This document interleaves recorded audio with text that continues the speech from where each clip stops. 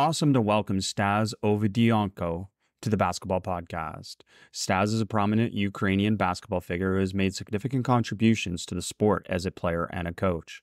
Stas boasts an impressive 17 year career as a professional basketball player. During this time, he achieved significant milestones, including being crowned the champion of Ukraine and securing the Super League Cup.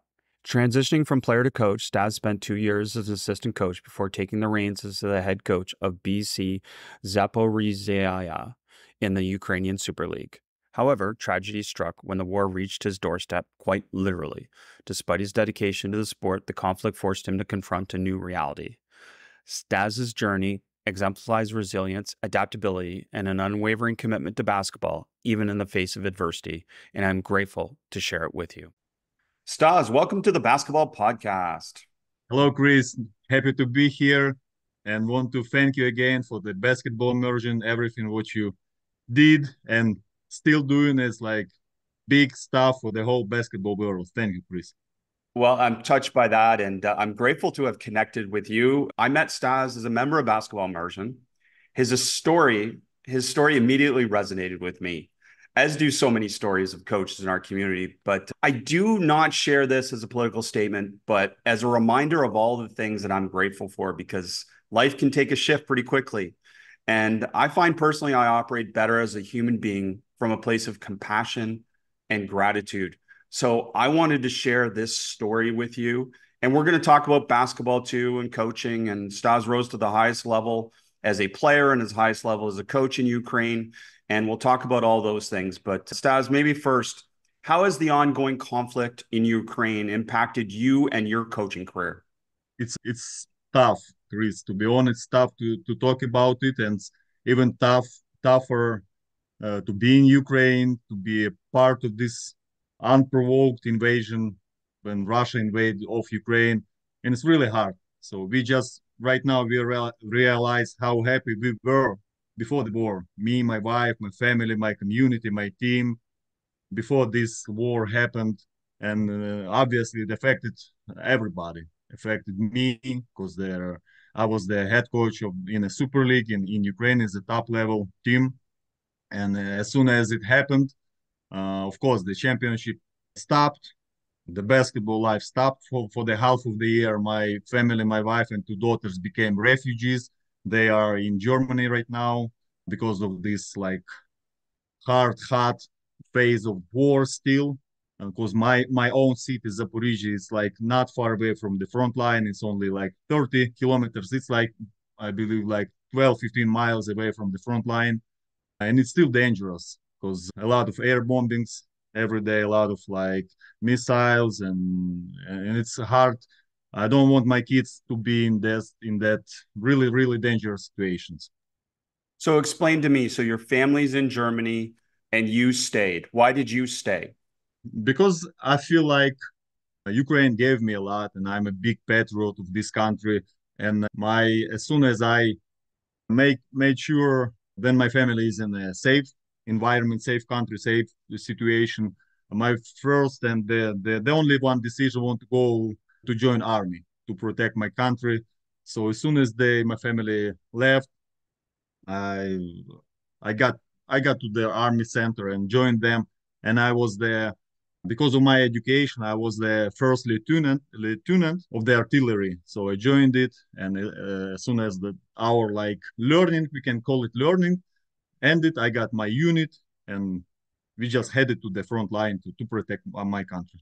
It's amazing and uh, true bravery on your part. And uh, like a true basketball coach, though, when you took a hiatus from coaching, but you immerse yourself in basketball immersion. I'm not sure how those two things go together, but you're still holding on to that basketball part of you as you are part of this war. And Chris, uh, let me a little bit. I'm not a hero, really. Like, if you would just describe that start of the war, it was really unprovoked invasion. Everybody was shocked. Nobody like really expected and couldn't still believe that this, this cruel war can happen in the 21st century and all Ukrainians, like almost all Ukrainians, were like joined all together with this like spirited to give the spirited resistance.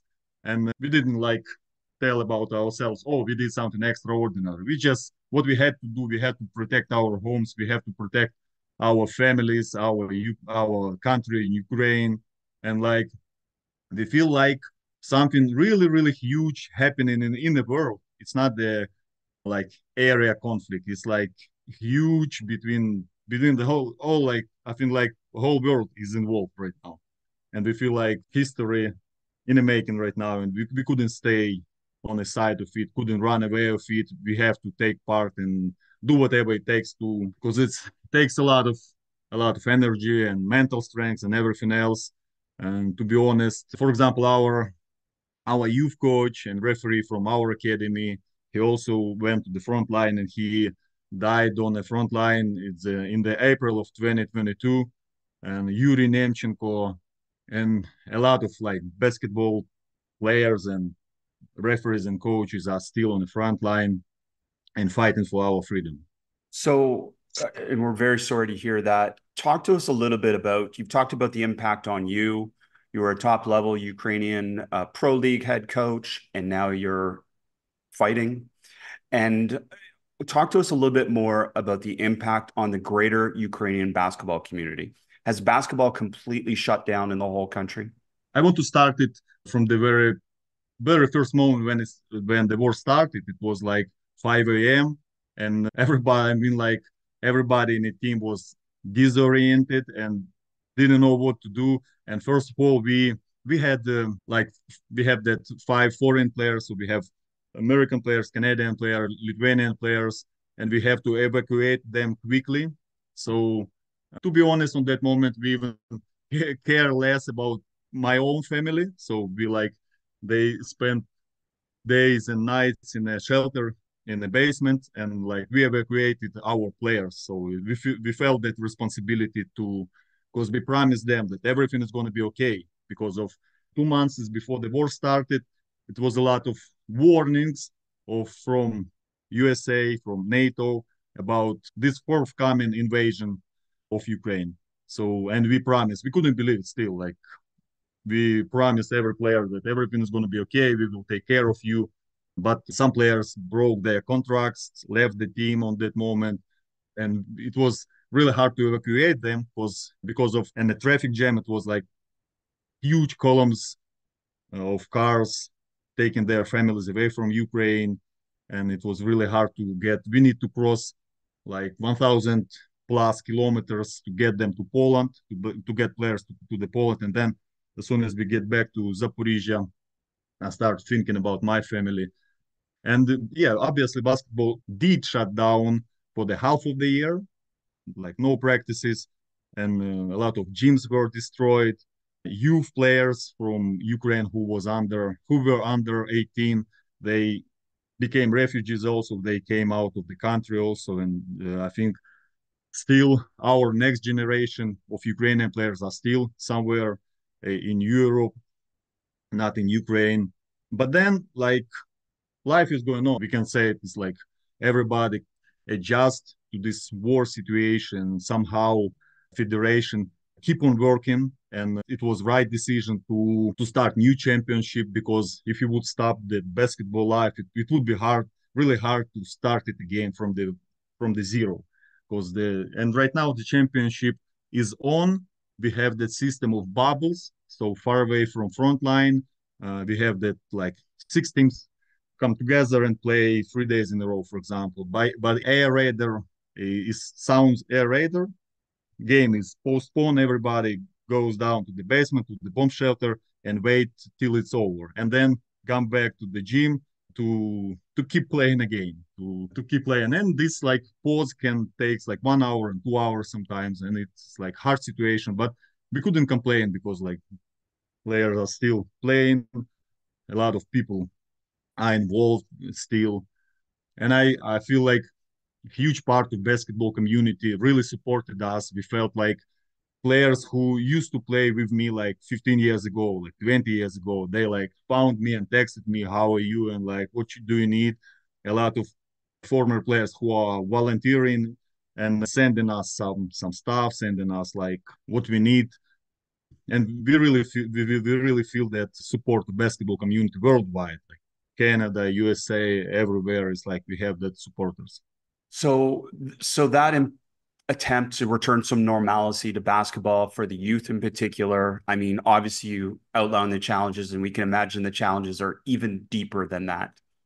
For you personally, as a basketball coach, how are you trying to keep some normalcy in terms of, as I said, you rose as an incredible player, and then you rose as a coach, and now you have to take this break. What are some things that you're doing as a basketball coach to maintain some normalcy? Are you able to spend any time with basketball? To be honest, first half of the year, it was like impossible to focus and to think about basketball, to think about tomorrow, that everything is going to be okay tomorrow. It, it was really hard. But, but, but again, as I said, like we adjusted and I adjusted, and sometimes we had the rotation from the front line. For example, we can spend like three days on the front line, then like get deeper into the country for a few days. And on those, like, and we had I couldn't say we have that days off in a wartime, of course. We had that like moments off. And on those moments I decided also to develop myself as a coach. So I, I like I call it for me being in the army, I said like enlist myself to the basketball army. So I'm still in the army. I have to my duty. I have to watch and I decided decided to watch clinics daily, one clinic per day, if I can, of course, if I have like some opportunity and like or watch game of. And during that last summer, I watched March Madness all games and all press conferences, and I can say this like special kind of art listening to that press conferences to the American coaches is like it was amazing and and it and basketball really helped me mentally to believe in tomorrow to believe in life that everything is going to be okay again then everything will return and get even better. And I have to prepare myself to the for the tomorrow's better days. So you, you mentioned already when you were coaching, one of the main things was first to get the players to safety. Second is your family. You've talked about basketball during the war a little bit. Talk to us a little bit about you as a coach, you as a former high level athlete, how have those skills helped you to be able to perform your best in the role that you're now in? It's all about leadership first, because as I said, I, I was the commander of my unit. It was artillery unit.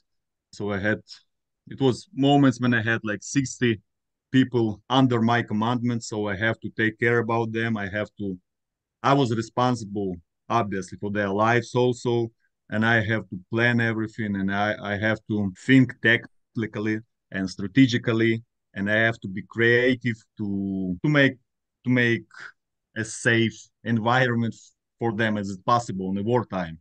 And of course i understood that motivation is on on the front line is the almost the main thing. Because we were we were always always motivated because it's our country. We have to protect it. It's our decision to go to the front line to stop their russian invasion so but the when you exhausted and when you are really tired and it's like day by day you're exhausted it's really hard to keep that motivation. And but somehow i need to keep grow this motivation from my people and from from me personally. I always have to with my own example. I understand that without my own example i couldn't like motivate my motivate my people my soldiers. And i i talk to them a lot communication is the key to build that relationships, to build that trust, to build that motivation, to discuss everything with them. And it helped me and it helped them. And I think also the sense of humor, coaches sometimes use their sense of humor on the front line. It's also, it's impossible to be alive without sense of humor, especially, but when you want to cry, but you have to like, I couldn't say pretend to be happy and pretend to be funny and like but uh, but sense of humor really helped us to to keep being motivated and to do our like army tasks also. All of us almost all of us that are listening cannot in any way relate to this but certainly we show compassion for everything that you and everyone is going through. And you know conflicts like this and political situations like this around the world affect people in so many different ways. And obviously, in this example, we're focused on a basketball coach and to share kind of your story and your experience. And it's very humbling to hear all of this. And as coaches, we've often used war language in our examples, our analogies. We're going to battle. We got to win the battle. We've got to do all these mm. things. And you mentioned humor, and I'm curious if you can reflect on some of these things that we kind of have said now and said, wow, it is not even close to the same. And we know that. We know that. But we we use these language. Do you think that language should still be used? Or should we think about different analogies to be able to spread kind of our examples? For me, I prefer to have different analogies right now because, like, if I would hear like, "You have to die on a court trying to steal it," or whatever, just trying to win this game. I mean, like, I understand all these roots where it comes from, but like, I try, I will try to find different analogies for sure. But players in Ukraine also they don't need to kind of be motivated right now. Everybody understand. Oh, it's a huge happiness, huge blessing to just keep the ball in their hands and being able to play, to compete, to have practices. Nothing can be compared with the normal basketball life.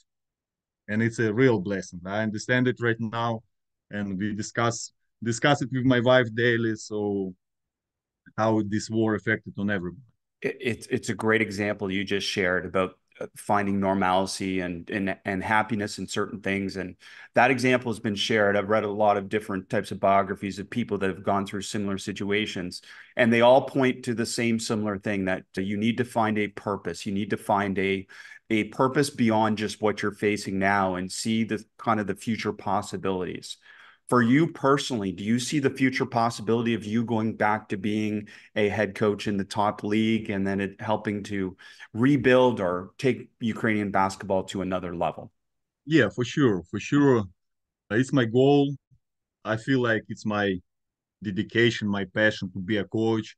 And I see how important right now to grow up kids and adults as a basketball players and grow up them with the with the right correct sense of feeling that life feeling of being patriotic supporting their country and also and it's a huge mission on me also. I feel like they also discuss it in the army a lot about kids about the system of our education about what is going on in television what is going on on social media right now and how we can affect on positively affect on these kids who are looking at us and and thinking about their future in Ukraine. That's awesome to hear. And certainly, uh, we're very sensitive to what you're going through. And we understand, obviously, the incredible challenges of you even just joining us to do this podcast. We did want to talk about one topic specific, kind of more to sport and basketball coaches, but obviously reflects what you're going through, and that's mental toughness. And again, something that coaches throw around all the time this concept of mental toughness. Again, I'm I know that you're embodying mental toughness beyond what you learned as a player and what you learned as a coach. But maybe share some of those thoughts that you have now from a player to a coach to someone who's in the army fighting a war. Mm-hmm. Talk to us about mental toughness. Okay, of course, we all understand that game is a mental battle also. Uh, for example, to compare two players with the same skill set and with and without confidence, it's two different players. And we also had kind of kings practice, practice kings who were like performing so well on the practices, but couldn't uh, perform pretty solid during the games. It's it's everything is on the mental side also, and uh, we need to teach players to be be tough on the court, to be like able to get over to to step over some difficult situations and as you, Chris, said on the one clinic, it was like mental toughness. It's like determined pissed offness. It's like determination. If something ain't going well, somehow we will find a way to uh, get out of this situation. And uh, and we need to teach that, to teach, to discuss it with the players. And uh, for example, we can build our like culture, culture of our team. We can build on our core values. For values, for example, we can tell our team gonna be fast, tough, and we have to play together. And on those stuff, we can put in mental toughness also. Not only like we will the huge effort and we will play like hard defense. We can play mental toughness, and mental toughness for me is like also it's like controlling controlling emotions. It's also like playing through fatigue and it's also giving like solid nice response on the court response on the court. You, you mentioned it a little bit you know talking about different issues on the front line and uh, I'm wondering about those conversations a little bit deeper. Do they parallel a little bit, again, in a very different way, but do they parallel a little bit different? I mean, you and your staff sit together and you're discussing different things and you're problem solving and you're trying to come up with solution based coaching interventions. Is it very similar on the front line where you as a group or as an entity are are discussing these things from a solution based approach? It's a good question and we discuss it a lot also because it's a more than war. We need to be really creative. We need to be really mobile. We couldn't take part take part in these war actions reading like books 10 years ago and 20 years ago. It's impossible because the war is evolving also using all those like starlinks and drones and uh, different uh, stuff that can stop all those drones and it's like completely different war is going on right now. Not like 10 or like 50 years ago. It's like completely different. And we have to be creative. And we discuss it uh, all my unit uh, we hadn't had uh, some professional soldiers who like dedicated all their life to to serve in in the military. We all were like we had to it was our decision to go to the army right now to protect it. So we we, we had no chance to we have no choice to not to stay at home for example. And we we our group was full of different people. We have like it scientists we have builders we have different like even deputy was there. We have some drivers and like from different layers i can say layers of the community. It was like poor and rich educated and not it was like different and yeah we did discuss we solved our problems daily that as as for the team we can make like breakdown of the game to discuss our mistakes also. We collected after some action to after action review if there is even like term for that AA to discuss it what we have to do better what we need to do next time. And it's on on a daily basis it's on a daily basis and it's it's a fascinating look inside so thank you for sharing that and with the mental toughness piece i know one of the things that you already referred to is is emotional control. You are a human being on this planet. You're happy, you're sad, you're depressed, you're lonely, you're excited, you're all these emotions like every other human being. And you mentioned a little bit about kind of masking things sometimes. Can you give us some, again, more insights in terms of coaching, in terms of applying some of those lessons? Because I think emotional control is one of those things that I think coaches at all levels struggle with, not just in terms of personally, but in terms of educating their players about how to be emotionally in control. That doesn't mean the absence of emotion, right? It means in being in control of emotions. Right, right. It's like 100% it affects on everybody. And I went through it when the commander of the unit is panicking, the, each soldier will, will be in panic also. If if you will, uh, if you confident, calm, and uh, know what what are you doing right now, it's like all soldier will trust on their commandment and act accordingly also. And for me, emotional control during the practices were really important also. We we had the technicals on the practice. So the player who got technical for not keeping their emotions, he got technical and he need to bring pizza for the next day for the whole team. Or sometimes we had that like money penalties. It was not huge amount of money, it's like couple dollars, but the the team cash register he collects that money and at the end of the season all team goes to the restaurant and on this money we like celebrate the end of the season and talking about emotions, it's not about always about negative emotions. It's always uh, about like reacting too high is also it can affect negatively on on players' performance. So we're always talking about not too high, not too low, controlling it.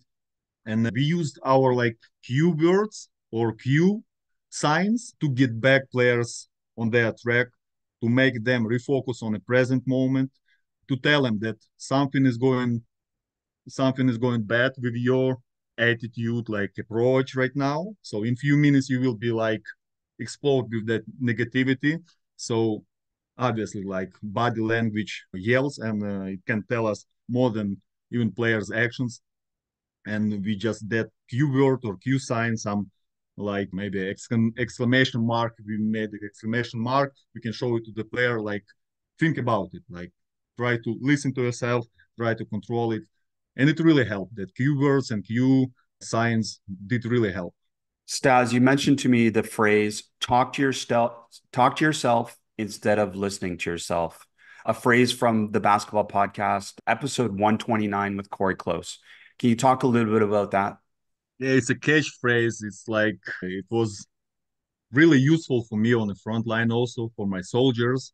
It was that approach when you're really tired, when like rain is falling on you and like you have to be here for the whole like three days in a row.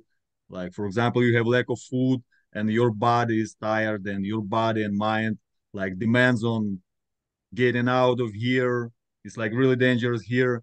Uh, but we have our like task here to do. So we always discuss talk to yourself you need really help. Talk to yourself instead of listening to yourself. Don't listen to your like tired body. Don't listen to your current situation. You have your aim, you have your motivation. Talk to yourself, talk to yourself.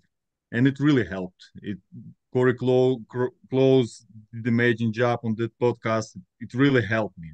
And somehow I was listening to that podcast like few years ago, but somehow it's like get back to my to my head and it really helped. I'm curious, are you sharing that kind of lesson or slogan with other people to be able to help them kind of cope with some of these things too? Yeah, we discuss it. We discuss it. We share our, as I said, we have different uh, different people there, different soldiers with their own big background, with their own experience and age. We have the 20 years and 60 years old, and we're all united as a as a group, mm, and we discuss it a lot. And I, I share it, and we discuss it, and it uh, really helped us to fight through fatigue, the same as basketball players can play through, through their fatigue to to be consistent, to to be able to perform on the highest level at the at the end of the games, uh, on the clutch time. And it, I think it's very valuable phrase for everybody. I love it. And the other perspective that you obviously bring to us is what you just mentioned a few times different people, different places in life, professional soldiers, non soldiers, people from different types of professions that normally wouldn't interact at all. And you all have to come together and be a team. So, talk to mm-hmm. us about some of your perspectives on team building now. Maybe you came in with some views as a basketball coach, but now in this reality, maybe they've shifted some of your views or solidified some of your views.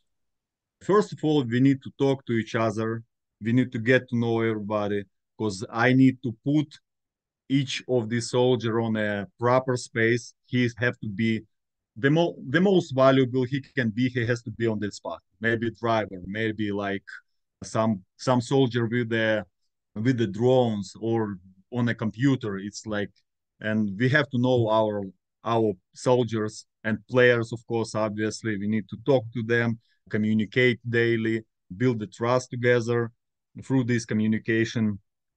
Uh, and this approach, the same as in a team. We have to build it. We have to take care about each other as the team united around the idea to get the victory.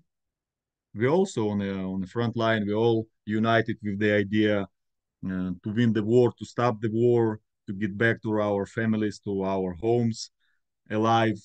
Uh, and that's why we didn't see we didn't see the ability to be not together. We had to be together, and you know, and and it was so pleasant feeling when when we realized that Ukrainian nation is united as have never been before. We felt unity, so we shared the last piece of bread. We shared everything. You need this, you can take this one, and it's like it's amazing feeling and understanding that it's bigger than me it's bigger than my like friend it's like the whole the whole the whole ukrainian nation stand up.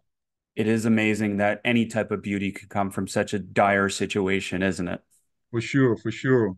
But uh, if we would uh, talk to each other, Chris, like year ago, it would be completely different conversation because right now we adjusted, we realize what we have to do, where where we can do our best and what we should do here because people can adjust for everything which is another parallel to coaching right? To, to, to, constantly tell your players that where we began is not where we end if we right, work right. towards a common purpose and common goal. That initially it might not be the best situation or we'll go through ups and downs we'll go through struggles.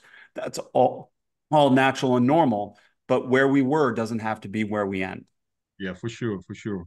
100% right. Stas, unfortunately, again, your situation and other situations like yours in the world, I mean, where I sit here as a fellow human being, I go, why is this happening? And you mentioned in these modern times, why is this even happening? Why can't we sit down and figure things out without this? But we know the reality is unfortunately sometimes different. And I just personally can't thank you enough for connecting with me, for building a relationship with me, and then for taking this time to be able to share with our audience. And uh, again, I think your example reflects many other examples of people that are going through real, real struggles. And I just can't thank you enough for sharing with us. Thank you, Chris, and thank I thank everybody from the basketball community worldwide. I much really help when you daily you got messages. We need you. Stay safe try to be try to do your best to don't risk too much. And it really helped. When you get that messages daily that support it's it's amazing. It's like motivates me from inside. And again when you're exhausted it's easy to give up really. But when you get that all that support it's like it's impossible to give up. You, you will fight and then uh, keep going keep going ahead well, our thoughts and supports to you and everyone else in the world that is going through struggles. And we cannot thank you enough, Stas. Stay safe, stay well, and we cannot wait for you to get back to coaching at the highest level in Ukraine and beyond. And we look forward to those days. Thank you, Chris. Thank you.